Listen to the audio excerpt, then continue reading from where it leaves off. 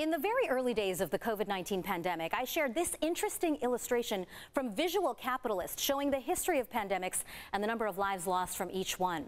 Now, 18 months later, we wanted to see how COVID-19 has changed in size and scale. Let's start by taking a look back at my original report from March of 2020.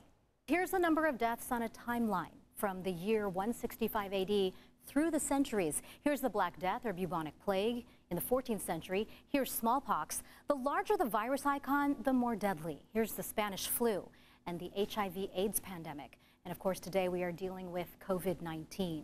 Okay, let's stop the story right here. You can see this graphic from March 18th, 2020, shows nearly 9,000 COVID-19 related deaths. 9,000. That is less than Ebola, swine flu, Hong Kong, Asian flu. This was just one week after COVID-19 was officially declared a pandemic. Now I want to show you the updated graphic. Watch here just how much COVID has grown. From 9,000 deaths to 4.5 million lives lost to COVID-19, which is now more than Ebola, swine flu, Hong Kong, and Asian flu.